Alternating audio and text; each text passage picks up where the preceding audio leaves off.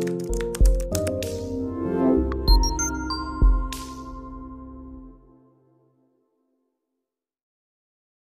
US Thalapathy Vijay அவர்கள் நடிப்பில் வெளியான எந்தெந்த படங்கள் நூறு நாட்களை கடந்து ஓடிச்சு அப்படின்ற முழு விவரத்தையும் இந்த வீடியோவில் பார்க்கலாம். ஃபஸ்ட் டைம் நம்ம சேனல் வந்து மறக்காமல் சப்ஸ்கிரைப் பண்ணிக்கோங்க. ஆயிரத்தி தொள்ளாயிரத்தி தொண்ணூற்றி மூணாம் வருடம் எஸ் ஏ சந்திரசேகர் இயக்கத்தில் வெளியான செந்தூர பாண்டியன் படம் நூறு நாட்கள் ஓடிச்சு. இந்த படத்தில் பார்த்தீங்கன்னா இளைய தளபதி விஜய் மற்றும் விஜயகாந்த் நடிச்சிருந்தாங்க.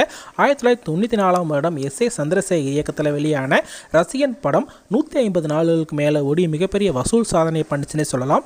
அதைத் தொடர்ந்து ஆயிரத்தி தொள்ளாயிரத்தி தொண்ணூற்றி ஏழாம் வருடம் பாலசேகர் இயக்கத்தில் வெளியான லவ் டுடே படம் கிட்டத்தட்ட இருநூறு நாட்கள் ஓடி பார்த்தீங்கன்னா மிகப்பெரிய சாதனையை பண்ணுச்சு.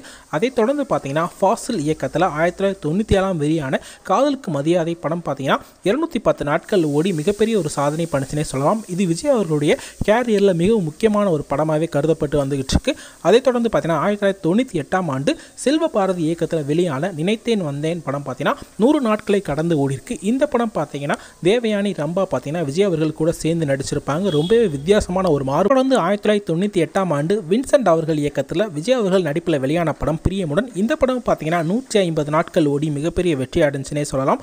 அதைத் தொடர்ந்து பார்த்தீங்கன்னா ஆயிரத்தி தொள்ளாயிரத்தி தொண்ணூற்றி ஒன்பதாம் ஆண்டு எழில் அவர்கள் இயக்கத்தில் வெளியான துல்லாத மனமும் துல்லும் இந்த படம் பார்த்தீங்கன்னா விஜய் அவர்கள் நடிப்பில் மிகப்பெரிய அளவில் பேசக்கூடிய ஒரு படமாகவே இருந்துச்சு. இந்த படத்தில் பார்த்தீங்கன்னா ஹீரோயின் வந்து சிம்ரன் அவங்க ஆக்ட் பண்ணிட்டாங்க. இந்த படத்தில் கிளைமேக்ஸ் பார்த்தீங்கன்னா ரொம்பவே வித்தியாசமாக இருக்கும். எல்லா ரசிகர்களுக்கும் பார்த்தீங்கன்னா ரொம்பவே பிடிச்சிருந்து வந்து ரெண்டாயிரத்தில் எஸ் ஏ சூர்யா இயக்கத்தில் விஜய் மற்றும் ஜோதியா நடிப்பில் வெளியான குஷி படம் பார்த்தீங்கன்னா மிகப்பெரிய வெற்றி படைச்சுனே சொல்லலாம். கிட்டத்தட்ட இரநூத்தி ஐம்பது நாளுக்கு மேலே ஓடி பார்த்தீங்கன்னா தமிழ் சினிமா வரலாற்றில் மிகப்பெரிய சாதனை படைச்சுனே சொல்லலாம். கடந்த இரண்டாயிரத்தி ஒன்றில் சந்தீப் அவர்கள் இயக்கத்தில் வெளியான ஃப்ரெண்ட்ஸ் படம் பார்த்தீங்கன்னா நூற்றி எழுபத்தஞ்சு நாட்கள் கடந்து ஓடுச்சுனே சொல்லலாம். இந்த படத்தில் சூர்யா தேவயானி விஜய் அவர்கள் கணேஷ் பாபு எல்லாருமே ஆக்ட் பண்ணியிருந்தாங்க.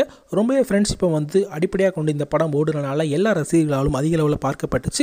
அதைத் தொடர்ந்து பார்த்தீங்கன்னா ரெண்டாயிரத்தி அஞ்சில் தரணி அவர்கள் இயக்கத்தில் விஜய் மற்றும் திரிசா இணைஞ்சு நடித்த படம் தான் கில்லி. இந்த படம் பார்த்தீங்கன்னா ரசிகர் மத்தியில் விஜய் ஒரு ஆக்ஷன் ஹீரோவாக பார்த்தீங்கன்னா அங்கீகரிச்சுன்னே சொல்லலாம். அந்த அளவுக்கு பார்த்தீங்கன்னா இந்த படம் எல்லா விதமான ரசிகர்களாலும் கவரப்பட்டுச்சுன்னு அதைத் தொடர்ந்து பிரபுதேவா இயக்கத்தில் ரெண்டாயிரத்தி ஏழில் வெளியான படம் தான் போக்கிரி. இந்த படத்தில் பார்த்தீங்கன்னா அசின் வந்து ஜோடியாக நடிச்சிருப்பாங்க. இந்த படமும் பார்த்தீங்கன்னா ஒரு மாறுபட்ட ஒரு கதை அம்சத்தை கொண்டு இருந்துச்சே சொல்லலாம். இந்த படம் பார்த்தீங்கன்னா தளபதி அவர்களுக்கு மிகப்பெரிய ஒரு கேரியரில் பேசக்கூடிய ஒரு படமாகவே இருந்துச்சு.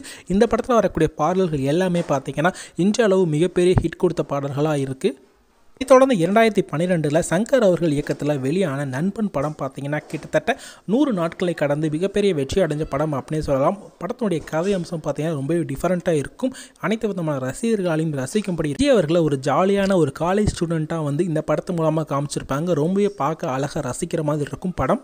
இதை தொடர்ந்து வெளியான துப்பாக்கி மெர்சல் தெரி சர்க்கார் போன்ற படங்கள் எல்லாமே பார்த்தீங்கன்னா நூறு நாள் ஓடாட்டியும் மிகப்பெரிய அளவிலான வசூல் சாதனைகள் எல்லாத்தையும் படைச்சிருக்குன்னே சொல்லலாம்.